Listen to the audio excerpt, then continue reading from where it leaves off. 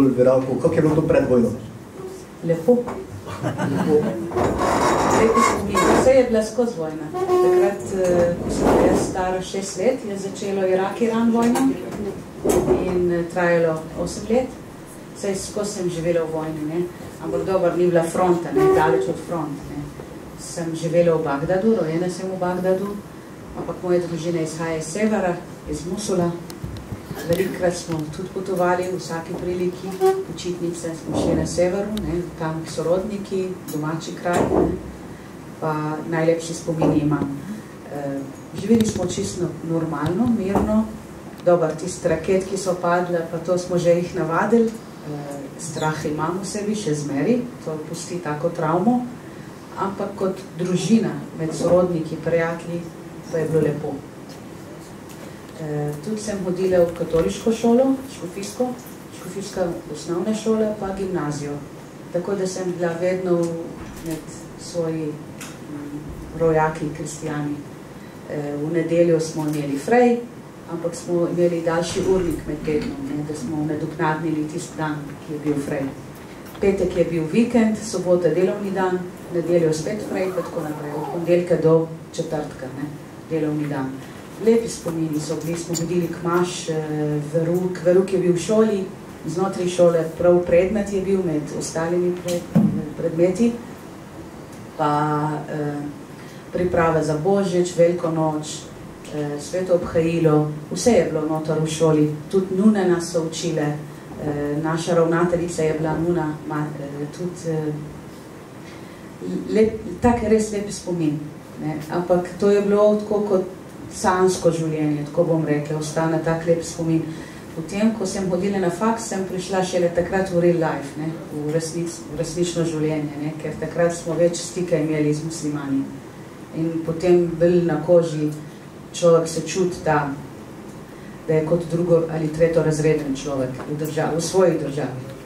Prej pa smo bili bil živeli tako kot v oblakih. Hvala. Pater Kmetec, eh, Martin, eh, kaj je vas navdušilo, da ste postali duhovnik in ste šli v svet kot misionar? A to že bilo iz otroštva? Ja, verjetno je že bilo nekje v, v duše, če lahko tako rečem, ker sem eh, veliko krat šel od doma, pa so me iskali, pa tako naprej. tako to malo zašalo. No. E, sem imel lepo otroštvo, zelo lepo otroštvo. Preprosto smo živeli tu v tej župni in sem prijel eh, eh, vzgojo, osnovno krščansko vzgojo v družini.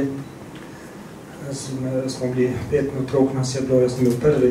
Pol pa smo sem zelo uh, hitro začel ministrirati v tej cerkvi in uh, se spoznal uh, brate minorite in uh, od takrat od otroštva naprej sem ostal z njimi povezan, čeprav je potem mogoče v zadnjem letu osnovne šole prišlo malo do, do kakšne krize, ampak uh, sem potem uh, se odločil za uh, redovništvo oziroma že takrat šel v semenišče, kar me je uh, podalo, kar mi je nekje, eh, eh, da sem šel v svet, je bila eh, velika želja v meni, da bi se učil drugih jezikov, da bi poznal druge kulture, predvsem pa me je vleklo na vzhod. Hvala. Zdaj, vprašanje za gospod Saro. Um, rekli smo, 2002 je bila bolj vojna, ne? O, ja, prej. Oziroma, že prej, ja. Prej. 1980 je bilo Irak-Iran vojne do 1988, ja. potem pa mm, najhuj je bilo 1991, ki je Irak šel v Kuwait. In takrat je bila ta zalivska vojna. In uh, takrat je bilo res hudo.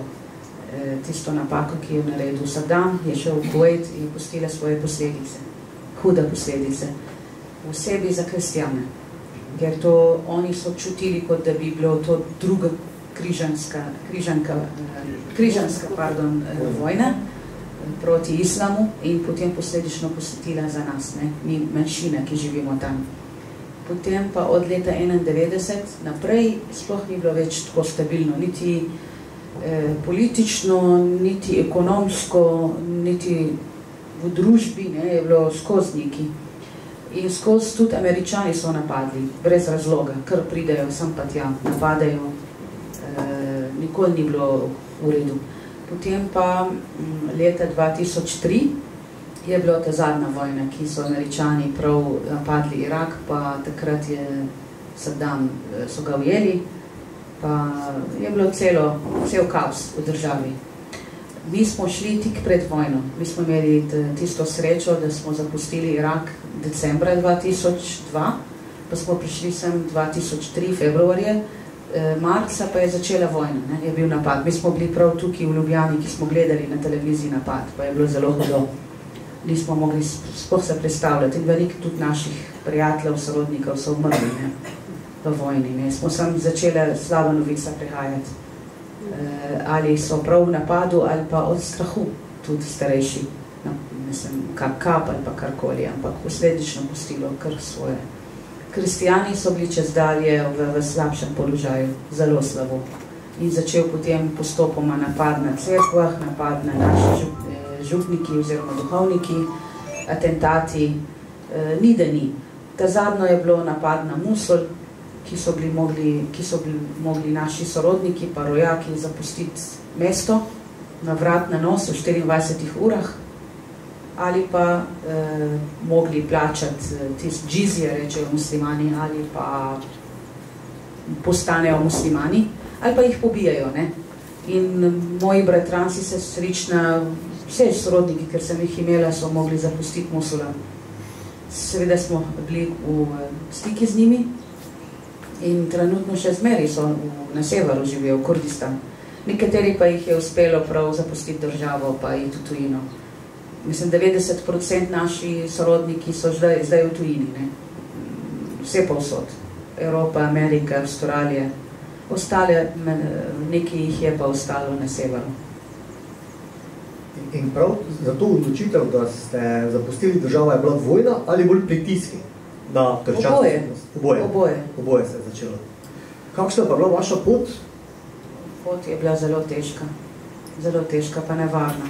Pa trajalo je. Ne, skoraj, če računam, sredini decembra smo zapustili Irak, 16. decembra smo prišli tukaj 6. februarja. To skoraj dva meseca. Ne. Šli smo iz Iraka v Siriji, v Sirijo, ne. tam takrat ni bilo še vojne v Siriji. Ne smo bili v Damasku nekaj dni, potem pa v Turčijo, pa smo bili tam tri tedne v Istanbulu. E, zama ni lep spomin. Jaz niti bi imela stisko psihično, če bi zdaj šla nazaj v Turčijo.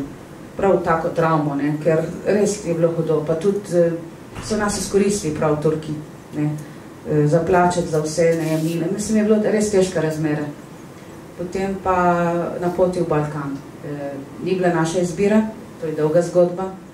Eh, mi smo plečali vizo za Turčijo, plečali vizo za Evropo, ampak smo nažalost padli v taki tihotaksi, ki so nas izkoristili in so peljali po težki poti, balkanski poti, ki so bile res navarna, pa smo, dokler nismo prišli v Slovenijo, smo bili čisti zmučeni.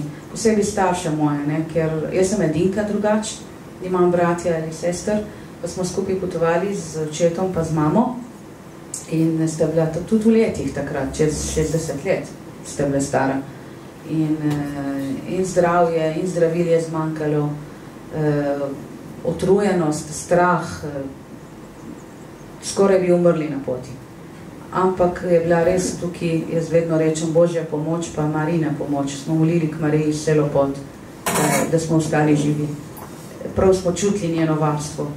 In eh, prišli smo v Slovenijo m, pol noči, eh, noč 5. februar na 6. februarja. Potem so rekli, zdaj bom, bomo, ker je bil cilj, mislim, dogovor je bil, da nas eh, do Nemčije eh, prepeljajo. Eh, in, in legalno, ni pa ilegalno, ker smo plečali oren, mnogo denarja, tisočih evrov govorim.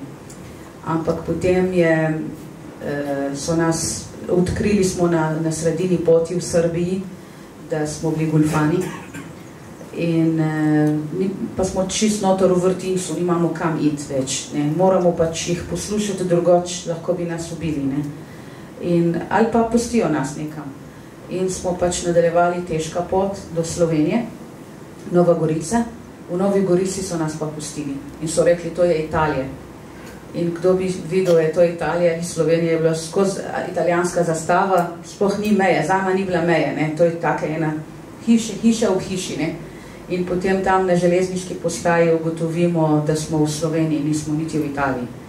In um, kot sem prej tudi velikrat povedala, da takrat pa tukaj pa moji mami odločila, je rekla, nikamor več ne grem. Jaz sem utrujena, tukaj vidim raj, tukaj vidim mir.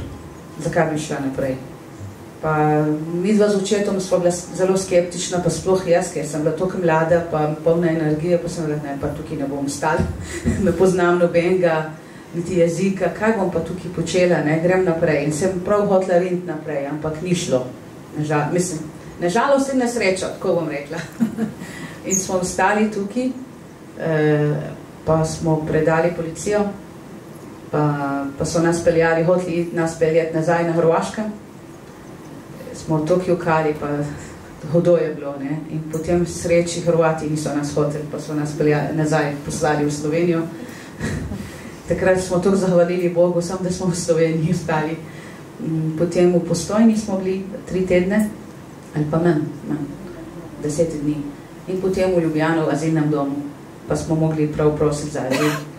E, hudo je bilo, težko je bilo, ampak hvala Bogu smo tudi bili, smo bili hitro sprejeti, eh, ker tukaj šlo za vero in politiko in vojna in vse, tak primer. In eh, potem pa začelo druga pot, pot integracije, pot eh, učenje jezika, eh, nostrificiranje diploma, zelo težka pot, ko jo spomnim, prav smo borili. Eh, hvala Bogu smo zdaj tukaj. Pa vera mogoče eh, na poti beguncev pomaga kaj pri samem vključevanju? Ko ste bili v Turčiji, je to bila prednost ali slabost, da ste kristijani? Nič ne pomaga, ker Turčije so muslimani tam. Mi smo mogli samo imeti svojo skupnost držati, ne? kot kristijani, da smo imeli saboj podpore, da smo šli k maš, tu ležili smo drug, drug, drugmu, ne?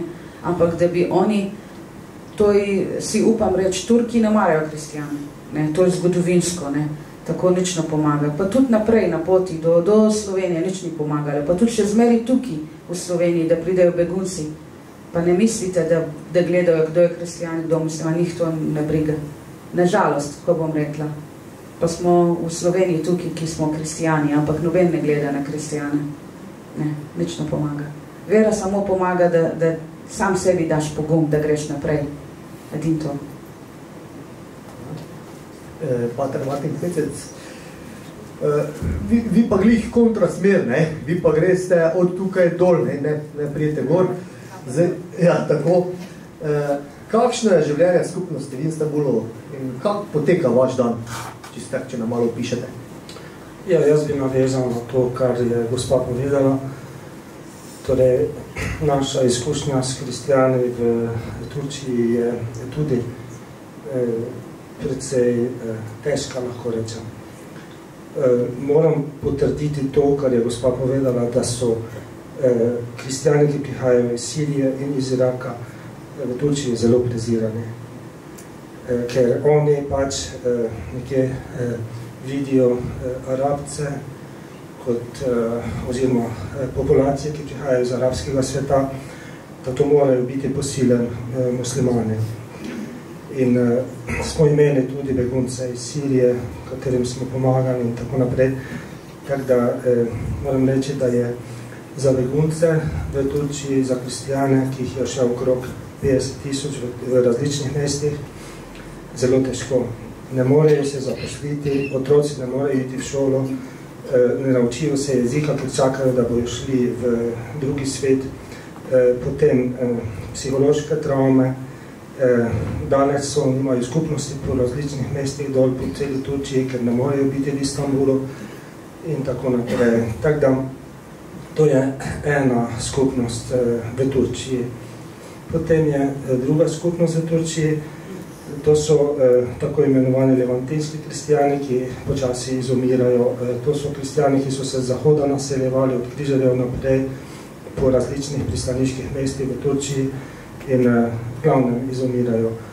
Eh, potem je pa še eh, so armenci, armenska skupnost, eh, pravoslavci in katoličani, njih je približno 60 tisoč še ostalo. Eh, in pa eh, Grko pravoslavni, njih je pa približno 2000. Torej Bartolomej, veliki patriarh, eh, ekumenski patriarh, ima v Istanbulu samo 2000 vernikov.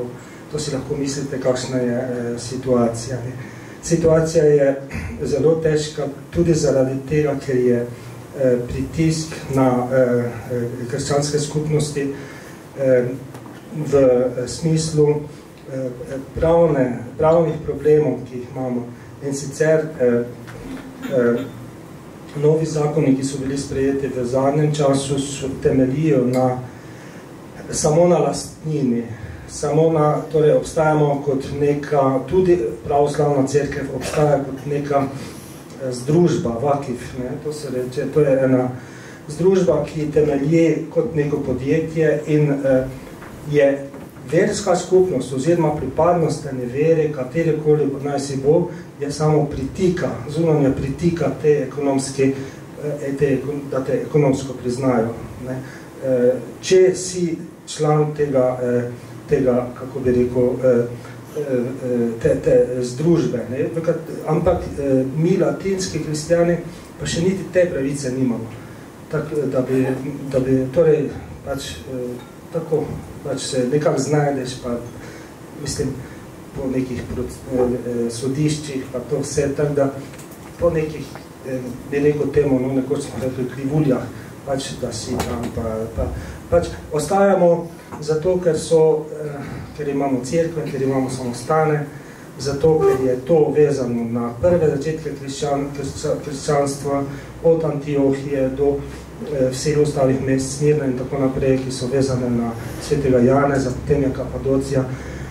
Tako, eh, da bi nekje eh, še bila neka ves med začetkom in danes.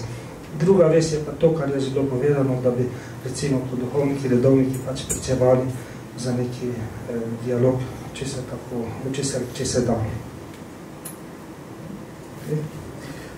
Gospod Sara, zdaj, ko ste prišli v Slovenijo, ne, pa se je bilo težko privaditi. Mislim, kako je vse to skupaj potekalo, da bi rekla, se zdaj dobro počutite, oziroma do tega, da se dobro počutite, cel ta postopek mogoče?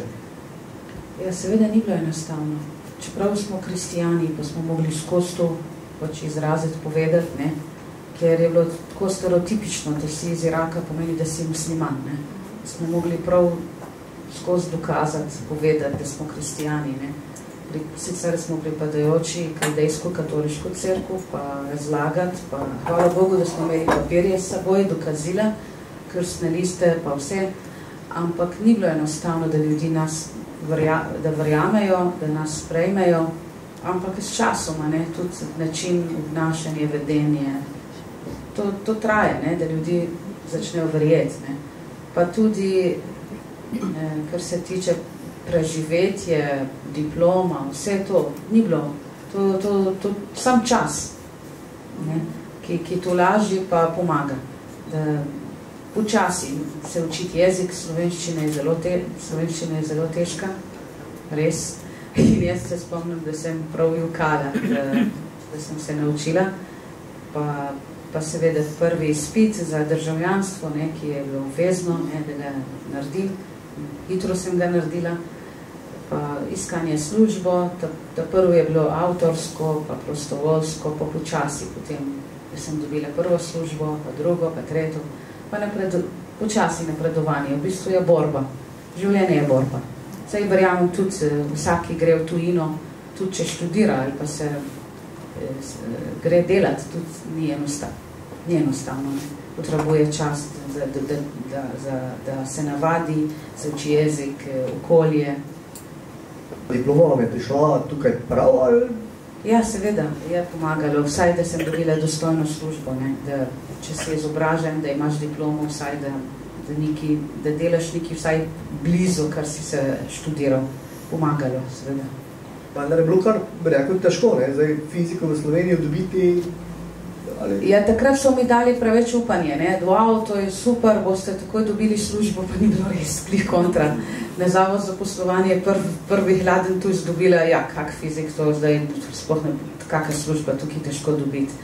Pa pejte na fakulteto na matema za matematiko in fiziko, pa Jožef Štefan, pa grem, pa potrkam vse vrata, pa so rekli, ja, edino v knjižnico lahko pridete, pa se učite. Je pa kaj bom izdelala v križnico hodile, res sem vsak dan s kolesom iz Šiške do Viča in sedim pa ure in ure se berem, ne.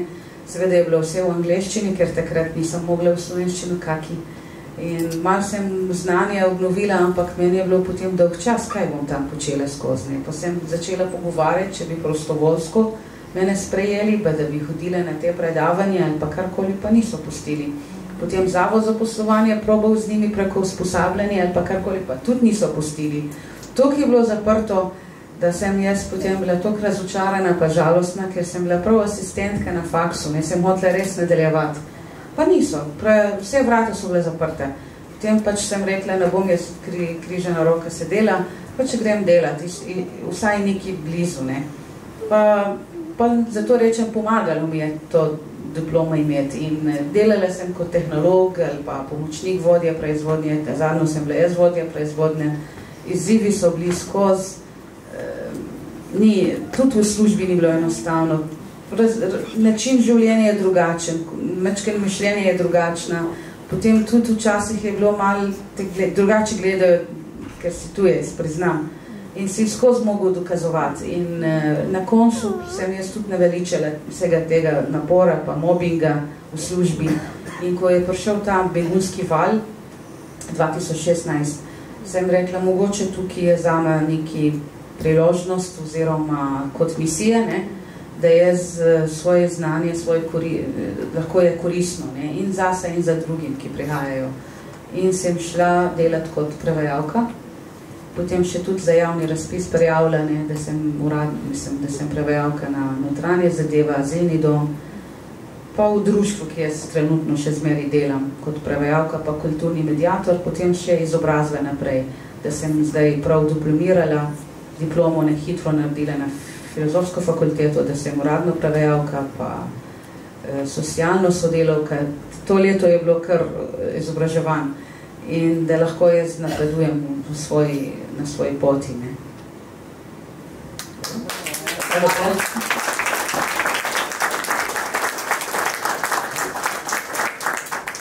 Martin, eh, vseeno mogoče malenko so pisali vaše življenje dol. Vemo, da, smo, da ste v skupnosti trije, ne? Ja. Pa je mogoče malo nas zanima, no, kako tam, kako to poteka, vaše skupnosti? Ja. Torej, imamo različne zadolžitve. En brat je odgovoren za ekonomijo oziroma za, za te stvari, za administracijo, ekonom.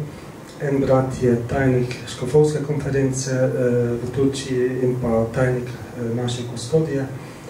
In eh, en brat še študira eh, turščino, pa eh, že angleščino in tudi za angleščino tudi bil. Jaz sem pa pač eh, predstojnik samostana. Eh, zjutraj uh, imamo ponovadi molitev, uh, meditacijo, potem skupni zajtrk, vsak gre na svoje delo. Uh, se dobimo za kosilo, tisti, ki smo doma, in pa uh, torej mašo imamo, uh, zvečer imamo uh, pred mašo pa ure češčenja najsvetejšega vsak dan, smo se zadali to, kot, uh, ker imamo več časa kot druge skupnosti, ki so bolj pastoralno vezane in pa uh, večernice, pa potem še skupaj posedimo ali pa kakšno, mogoče kakšno srečanje s, ko, uh, s kom, ki se pripravlja na krst, pa kakšne podobne stvari. Tako približno skleda naše, uh, naš delovni dan. Jaz osebno pa se največ ukvarjam z, pač uh, grem tudi večkrat na teden v naše središče, v, torej naš samostan je zunaj, Istanbula na periferiji. Eh, jaz pa hodim tudi v središče, kjer imamo crkva svetega Antona, zelo poznana. In, eh, tam potem imamo eno, urejamo internetno stran, eh, pa s knjigami se ukvarjam bolj, torej pripravljamo tisk v turškem jeziku, krščanske besedila. Tako to, če ne vem, če sem tako to Super. Super. E, imate pa tudi veselje do jezikov, ne? To pomeni, jezik vam ni tuj, ni, ni Ja, tako, tako, veliko veselje. No, veliko, eh, moje veliko veselje je predvsem v tem, eh, zanima me strašno, mislim, veliko sem se s tem ukvarjal, kako jezik eh, deluje, kaj se skriva v jeziku samem. In eh, to, kar sem nekje čisto, to bi čisto preprostimi besedami povedal, in to bi navezal tudi na Frančiška, ki ni govoril eh, tujega jezika, ampak je eh, je prehodil veliko razdaljo do bližnjega. To je moja maksima v življenju. Torej, prehoditi razdaljo, ki me loči od bližnjega. In ena od teh možnosti, ki jo ima, je eh, učiti se jezika. Oziroma, pa še vedno se kaj dodajam k temu, kar vem. Jezik kot, kot, eh, jezik kot odnos do človeka, odnos do Boga. To me. Hvala.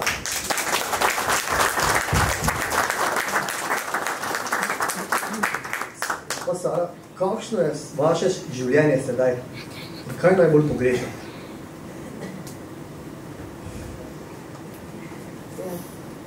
Pogrešam sorodnike, ne? Nekako tudi uh, bivše življenje, priznam, ne, tudi domotožje, ne? način življenja, ki smo ga imeli prej, ne? to pogrešam. Tisto, da si sprejet, da si med svojci, ne? Da, ne, da nisi tujec, to pogrešam. Kaj pa se je vse odvilo? Zdaj ste že kaj se privadili na našo kulturo, oziroma vse kristijani kot kristijani, verjetno je zelo podobno. Zelo podobno.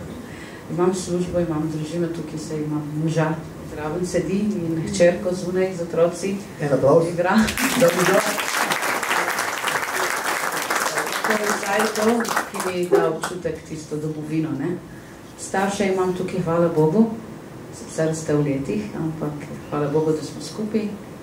Um, mir, najbolj to, zahvaljujem Bogu, da, da živimo v miru tukaj, daleč od vojne pa nevarnosti. In tudi vedno molim za mir.